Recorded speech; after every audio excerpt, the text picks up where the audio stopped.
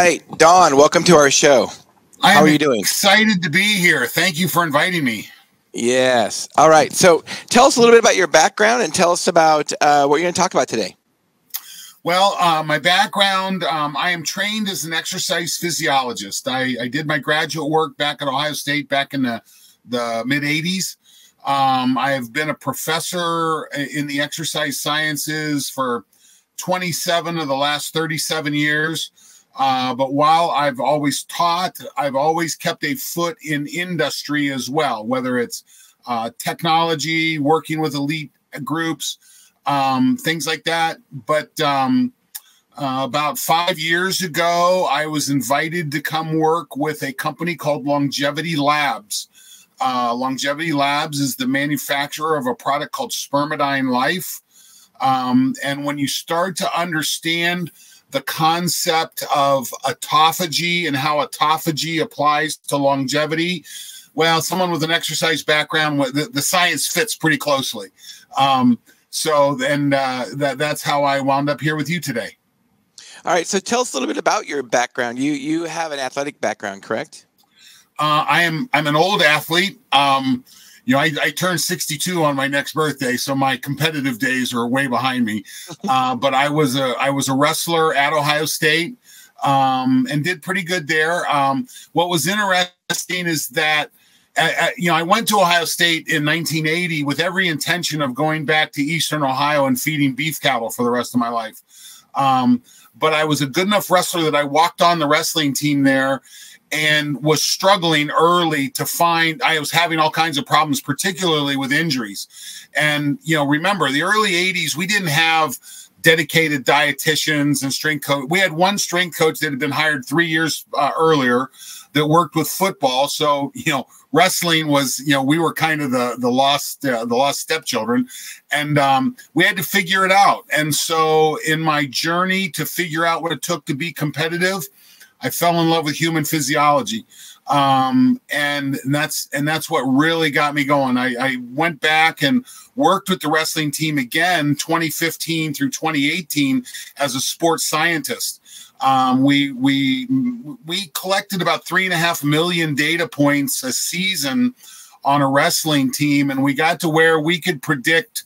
Uh, we, we we we could diagnose problems with athletes that were underperforming we could use uh, a lot of this data for exercise prescription. Do we go harder? Do we go less? And actually using a term called heart rate variability, which is a measurement of resilience.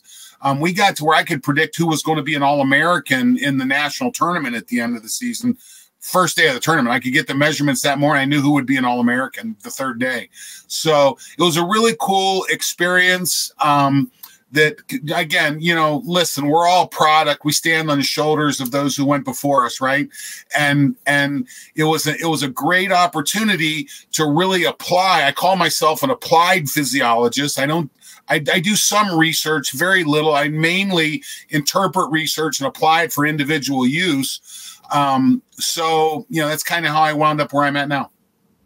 So tell us a little bit about um, spermidine? So spermidine is uh, it's a, it's it's kind of a funny story. So uh, a fellow I was working with um, calls me one day and he says, "What are you doing?" I said, "I'm looking for a project." And he said, "So what do you know about autophagy?" And I said, "Well, I have a passing understanding of it." I said, "I don't have a, a deep understanding of it." And he said, "Have you ever heard of this thing called spermidine?" I'm like, "Nope, that's a new one." Um, and I have a very good friend that is a very, very good human performance guy. And I texted him and I said, What do you know about spermidine? And my phone auto corrected. Um, and the message says, What do you know about spermicide? And um, right, right. and he sent me he sent me a note back. He says, Are you talking about spermidine? I said, Yeah, that's what I'm talking about. Um, and and so it was that was kind of a you know stumbling into something um, that was the first time I've heard of it, and it's it's a molecule that we've known about for hundreds of years. Literally, uh, on to Anton van Leeuwenhoek, the guy who invented the the the microscope, obviously a freak because it didn't take him long before he had his semen underneath his microscope. And, you know, I don't know what he was looking for. You got to remember, before that, we didn't know about sperm and things like that. You know, that was still microscopic. But, you know, you give a man a give a man a pencil, he'll draw a penis. You give him a microscope, he looks at his semen under it. We give him the we'd given the microscope to a woman who th- who knows how much further along we'd be right now. Um, but you know, we, we, Anton van Leeuwenhoek was the first to describe it, and then a, a group of Dutch researchers named it about 200 years later. Again, in the science, it floated around for several for several decades. In the 80s, they started to look at spermidine in context of, in the in oncology. We're never able to get it, but it wasn't until 2016 when we when there was the Nobel Prize for autophagy that we started to get a framework for like, oh, this is where this molecule belongs. And and Dr. Frank Madeo at the University of Graz in Austria did some of the early work on this. He was used spermidine with senescent cells, and he was able to reverse the senescence in some cells by with the application of spermidine. And and as you continue to watch the research on this, is that you know, it's it's it's a key element in the autophagy pathway. So, you know, we, we, we now know so much more about the value of autophagy and how it applies to health and longevity. Well, and, and we're starting to understand that spermidine is a key molecule that is required to be on board to have autophagy function in the cells. So, talk a little bit about autophagy. Educate us on, on our listeners and viewers what that is. So autophagy the, is Latin for self-eating. So it's it's a process that exists in every one of your cells. And and I like to the an analogy I like. Imagine living in a cabin in the woods. And you know, when everything's fine, you go out, you chop wood, you bring it into the cabin, you split it, you throw it in the fire, and that's where you get your heat from. But if you get a bad winter storm and you're snowed in, you can't go out and get firewood. So all of a sudden, you've got to deal with what's in the cabin. So if you've got an old broken chair that you've not used in a long time, you throw that in the fire and you get energy from it. Well, autophagy is largely the same is that when we have energy coming into the cells, the cell says, Hey, everything's fine. Just keep going, doing what cells do. They make proteins, they reproduce but in a period of fasting, in in in, in nutrient uh, uh, loss of nutrients, we don't have signaling. That cell says, "Hey, we don't have this energy coming in, so let's go in and clean up what's already there." So when your cell makes a protein, um, you know, when the right when you get the signal through the mTOR and the ribosome goes and gets the the the the the, the, the necessary signaling to make a protein, and that happens, not all those proteins are made correctly. And if a protein is misfolded or if there's a problem, it just sits there in the cell, doesn't go anywhere. It just creates, it's like having junk in your cabin. Um, so when you have autophagy, that that process cleans up those old proteins, or you'll have organelles like mitochondria that age that, that, that you want to get out of the cell. Uh, autophagy is a key process, and when we look at autophagy that is generated from spermidine supplementation, we see five major benefits. Number one, well, we see an upregulation of autophagy. We see the application of spermidine into the cell. We see an upregulation of autophagy. We see an immune response. We see improved immune response. And if you think about your immune system in the cell, if you've got a cell that's full of junk, that immune system's not going to work as well. And in fact, you know, going through the the, the last pandemic that we went through. We actually have a paper that came out of Berlin that showed that human immune cells uh, supplemented with spermidine stopped COVID transmission 85, 90, 92% of the time. So that improved immune response is one of the benefits of improved autophagy. We have improved myocardial performance, both in the heart and at, at the vascular level. We have improved neural performance. If you think about dementia and Alzheimer's. Alzheimer's is the buildup of those tau proteins. Well, where are those proteins coming from? Those are proteins that are formed. They're sitting in those neural cells and they're not doing anything. They eventually create problems. Well, as you upregulate autophagy, you lower that level of protein buildup in the cells. We have a pretty good paper, another one out of Berlin, out of the Charité in Berlin, that shows that supplementation of spermidine stopped the development of dementia. We didn't reverse it yet, but it stopped the development of dementia. So uh, we look at, and then and then finally the fifth benefit is upregulated uh, epithelial stem cell production. So the stem cells that eventually become your skin, your hair, your nails, um, these are upregulated. And in fact, when people start using spermidine, three to five weeks after, the, the, the thing that we hear the most is they notice their fingernails start growing like crazy. Um, and that's that upregulation of epithelial stem cells. Um, we, are starting to see the role of spermidine autophagy and wound healing. When you have that wound, that's a very dynamic cellular environment. So you throw, you put some spermidine, and we're actually looking at it both uh, internally and um, and externally, working at both levels. Um, you start to see an improvement of that epithelial stem cell.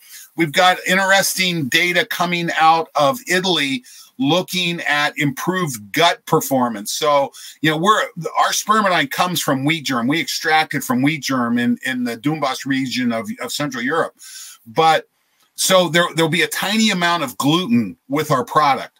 But we have we have a lot of celiac patients who use our product because the, the level is so low.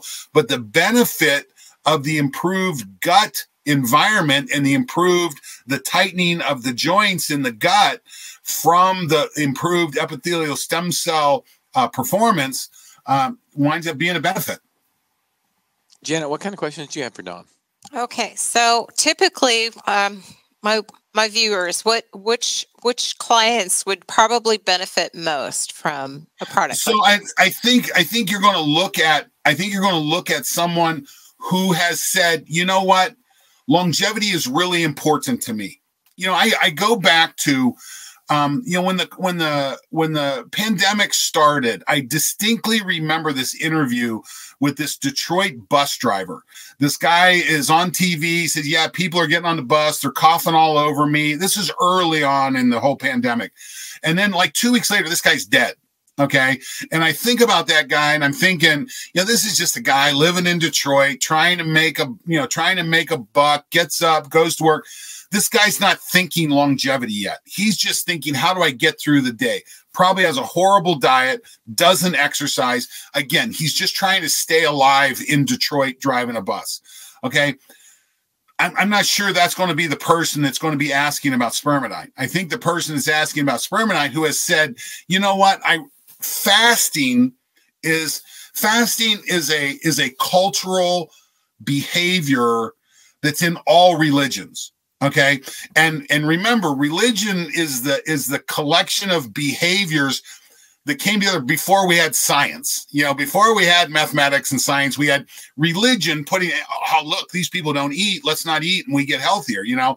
And that, and when you look at all the religious practice fasting is one that goes through so what is fasting well fasting is driving that that that autophagy pathway um, not eating daylight to dark is a good behavior. Adding exercise is a good behavior. So I think your patient that's going to benefit from this one, what we know is that spermidine declines with age. So does autophagy declines with age. And we know that when we supplement spermidine, we raise autophagy. We know a couple other things too. When you look at blue zones, um, you look at blue zones, they have spermidine rich diets. Most blue zones do not have commercially prepared food. Most blue zones foods are coming from their own gardens. They're coming, so they're very nutrient dense. Um, most of us, I mean, you know what? I got to go to the grocery store today. I'm going to go pick up a bunch of food at the grocery store and throw it in the fridge. 99% of it will be industrial produced. Um, and when that happens, a lot of nutrients get washed out. We have to recognize that. Just you know we look at we look at industrial produced food and we look at proteins fats and carbohydrates which is fine but it's the micronutrient density that's so critical and spermidine is one of these micronutrients. Well what we know is that unless you unless you supplement with spermidine exogenously it's going to continue to decline Now, if you're lucky enough to live in a blue zone or have your garden, you know, I don't know about you guys, but I grew up on a big farm in eastern Ohio. My mom, you know, we were dirt poor, and my mom and dad had three boys. I'm the, I was the smallest one in the family, standing about six one. I finished up about 290 pounds when I was in college. My younger brother's six eight. I mean, that kid could eat a horse. Um, but you know, we had two huge one acre gardens that that we got green beans and tomatoes and potatoes and corn and just everything you can imagine. And they got fertilized with the barns that we clean three or four times a year. You know not the best job in the world but the nutrient density of our food was ridiculous. Um you know not i don't have access to that anymore. Um and so we've got to take a look at what are we missing? Do you know, listen, Walter Longo taught us with the with the um the fasting imitating diet. If you compress your your calorie consumption, most people think of diet as compressing calories in numbers. Walter Longo taught us if you compress your calories in time, don't worry about the number, compress the time, there's a significant health benefit from that. Well, we take a look at that not only do we want to get the nutrients in in a fixed time space, we want to make sure we have those key elements. And and spermidine just one of those nutrients that we've learned relatively recently. Again, the Nobel Prize for autophagy was given in 2016. You know, we're so freaking bleeding edge on this right now. It's crazy, but that person to go back and answer your question you know i've kind of gone along on a big tangent here. Right. um, but to go back and answer that question it's that person that says you know what? I'm fasting. I'm paying attention to what i'm eating. I'm exercising. That's part of my daily lifestyle. I'm making sure i have a nutrient dense diet. I'm paying attention to that. I'm paying attention to my sleep. I'm paying attention to light that i get on the type of light that i get on my skin then you've got someone who's who's trying to get the most out and and that's that's the person I think of. I think of when I think of longevity, I don't know about you guys, but I think of life in three thirds. I spent the first third of my life learning in school. And then I spent the second third of my life in service. Um, my wife and I have a daughter who moved out of the house January 2nd, two years ago. She took a coaching job up in Chicago we were done. You know, she wasn't coming home. You know, she was she was you know she flew the nest. Um, we started our third third. We started the third of our life that's ours, and I want that to be rich.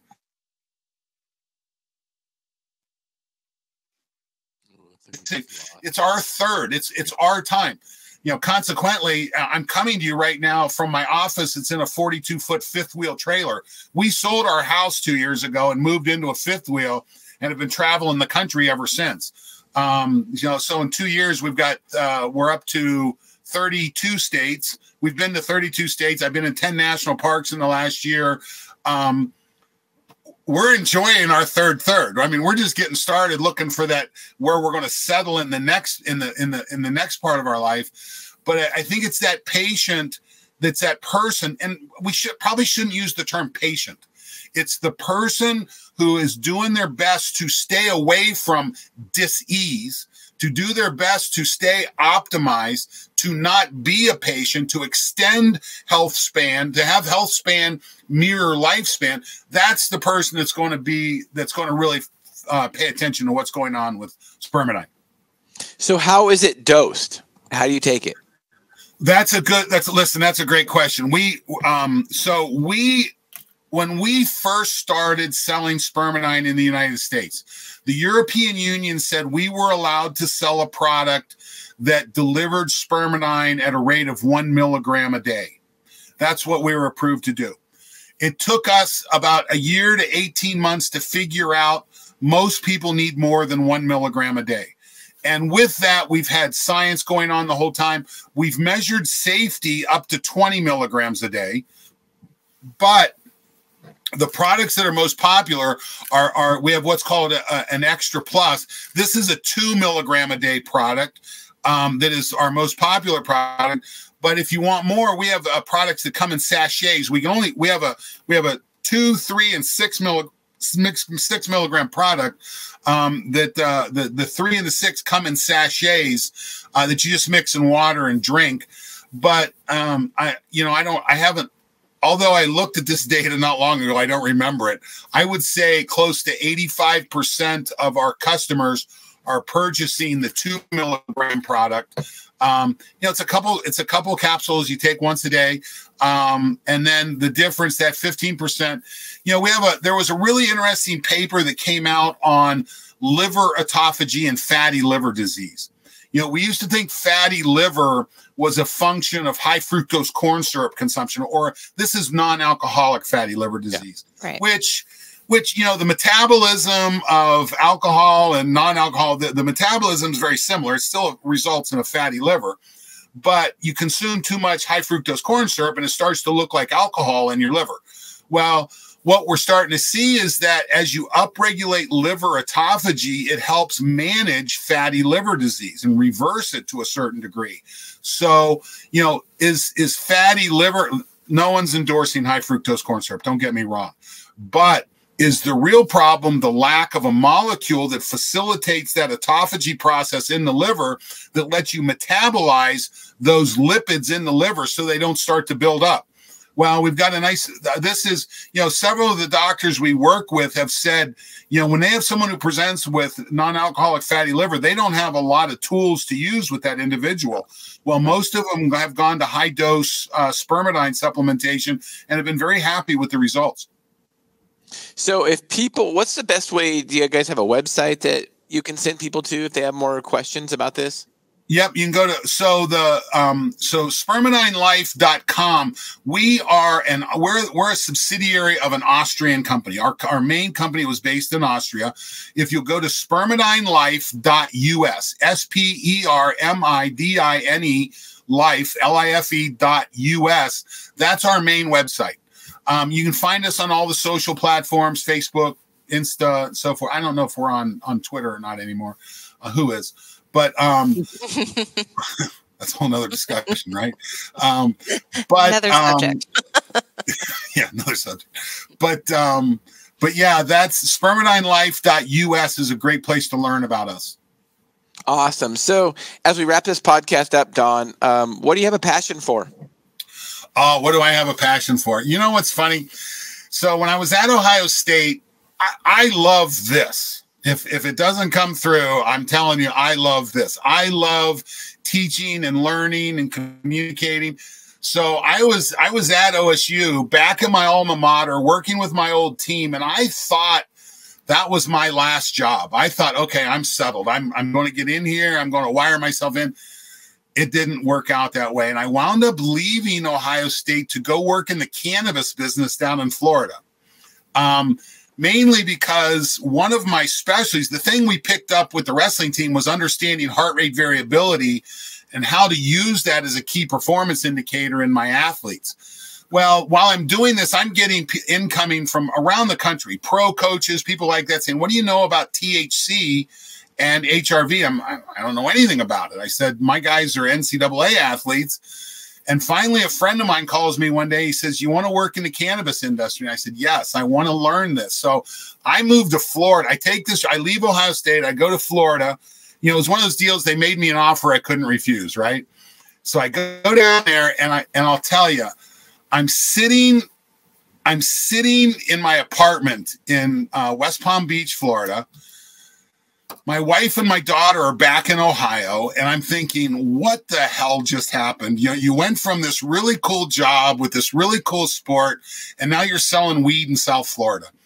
And and it was I was actually working with a medical cannabis group, and it was and I, I took a step back and I said, and I, I heard someone on a podcast one day, and they said, don't define yourself on what you do, but develop a personal mission.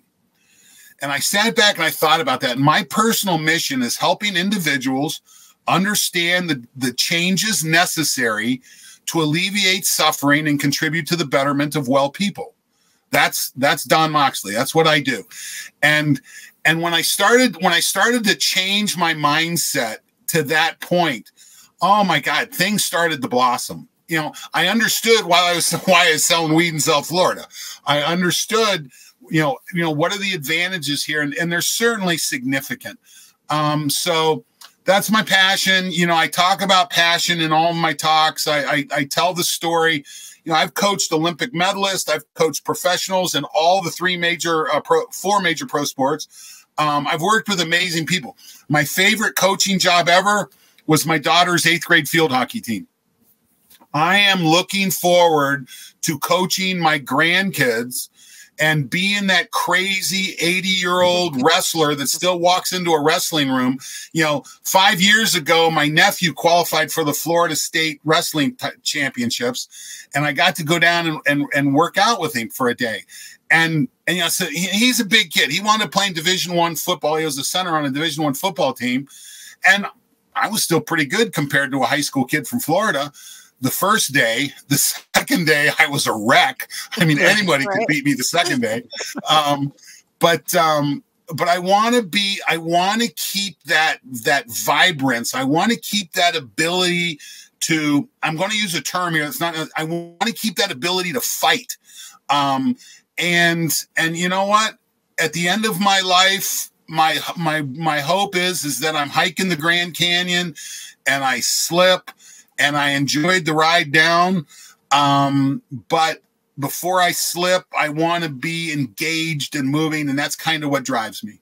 Absolutely, I totally understand that and respect that. Or so step in front definitely of helped us realize. That, yeah, thank you for being on, Don. You've definitely helped us realize our goal, which is to educate and empower individuals to take charge of their own health. So, we'll um, uh, edit this podcast and stream your website. And thank you for our, all your wisdom and knowledge today.